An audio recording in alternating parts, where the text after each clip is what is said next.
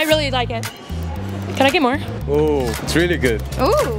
It going, everybody? Amber here from Forever Lux, the website where we offer you the top designer fragrances at the best discounted prices.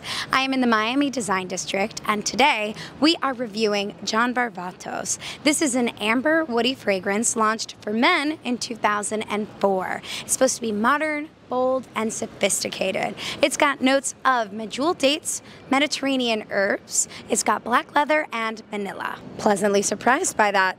It is somehow elegant and masculine at the same time. It's kind of sensuous. It's very relaxed for a male scent. It's, um, I don't want to say casual because it is really elegant, but it is laid back.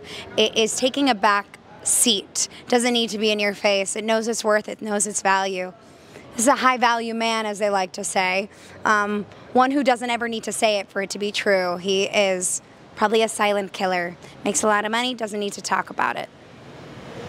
Mm, yeah, I don't think I've ever smelled anything like that before. The combination of the medjool dates and the Mediterranean smells um, very specific, very unique. Um, it's interesting. It's got a lot of levels to it. And then the black leather makes it very, very masculine. But it's sweet with the vanilla at the end. It's a complicated man right here. I'm I'm intrigued. I'm gonna give it an 8.6, but that's my opinion on John Varvatos' vintage. Let's see what other people in the design district have to say. Let's go. Ooh, I love it. It smells fancy. It smells like rooftop. It's giving penthouse. Like, hmm, Matthew McConaughey.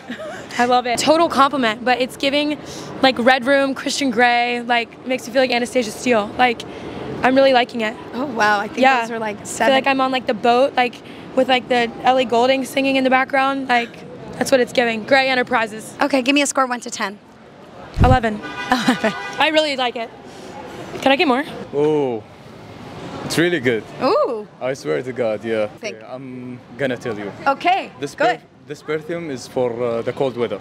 Okay. Uh, I'd go for it in in the winter season. Mm-hmm. So probably in the East Coast, New York, DC, Chicago. Okay. This would be spectacular. Oh my gosh, spectacular. Give me a score one to ten. I'd go for nine out of ten. Nine out of ten. And I'm a, I'm a person who's obsessed with perfume, so it's. it's Oh, really- you are? Yeah. So can you tell me what kind? for sale or not? I mean, you could go on our website, foreverlux.com. We will for sure do it. Okay. Let- what you would smell when you walk into someone's like New York apartment. Like, Okay. you know? Okay, does he have style? Like, does he pick out his own Yes. decor at this point? Yes, like like white button down, navy pants, probably like Louis or Gucci shoes. Okay, so he knows good brands. Mm-hmm. Um, and do you think that's more day or nighttime? um I feel like it's daytime. Okay. Like an everyday like This could be somebody's This is what I wear signature scent. office, Okay. yes. All right, give me a score one to ten. nine and a half. 9.5. If you are interested in John Varvatos Vintage, we have a code in our description box right below this video that will get you a little discount, but it only lasts 24 hours. Make sure you like, comment, subscribe. My name's Amber, and I'll see you next time. Bye. Do it again.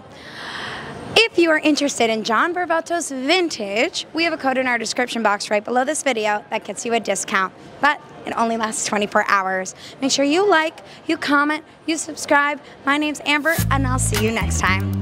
Bye.